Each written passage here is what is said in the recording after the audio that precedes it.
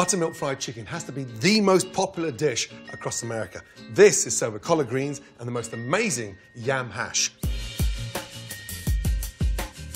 First off, marinade. Now in here, I've got buttermilk, shallots, garlic, and onion. Pick up the chicken and place it inside the marinade. The buttermilk enriches the flavor and the texture of the chicken. If you can get this done into marinade the night before, it super tenderizes the chicken. If you can't, five minutes in the buttermilk, let it submerge in there all the way down. Once it's been marinated, it comes out of the buttermilk. Give it a really good shake. You don't want excess buttermilk on there. And it goes into a seasoned flour. Now this flour's got salt, pepper, and a touch of smoked paprika. Gives a little bit more fragrance from there. Roll that around.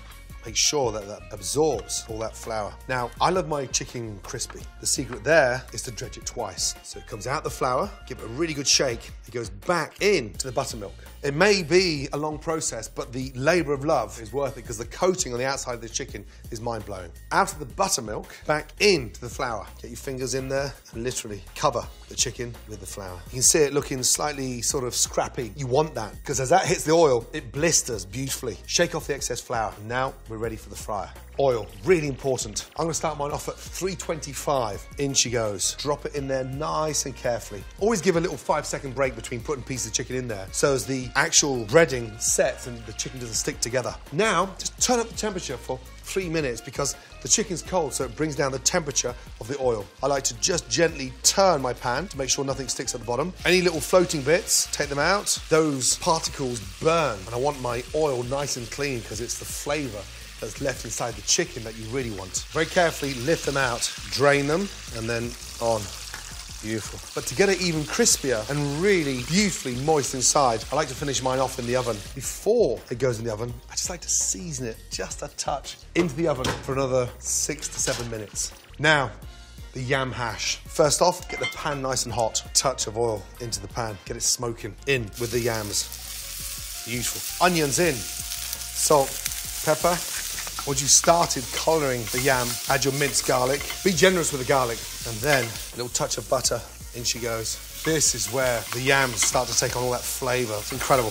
Now we're ready for the peppers. Red peppers in, green peppers in, touch more butter into the center, turn down the gas and let that just sit there and sort of roast every five or six minutes. Clean underneath that pan so you got that flavor coming back into the hash and sort of push it left, push it right. Every time you clean underneath that pan, you're taking more flavor into the hash. Gas down, let it sit there on the back, low heat. Right, chicken's in the oven, hash is on. Finally, collard greens. First in, the bacon. We want to render the bacon to get the bacon fat out. That gives flavor to the collard greens. Gently on the seasoning because it's naturally salted.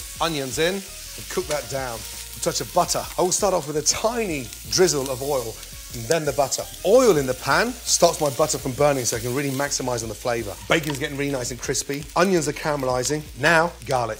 You can see what's happening now, look. It's all dark and crispy and caramelized. The crispier those yams become, the more flavor that's in there. Pat it back down again and let it caramelize and almost roast. Now, I've got the colour on the bacon. I've got the fat being removed and the flavour in there is incredible. Garlic's caramelising in with the collard greens. Now, these have been blanched very quickly for 30 seconds in boiling water and then sliced up. Drop them in, lightly season, and then give that a nice toss.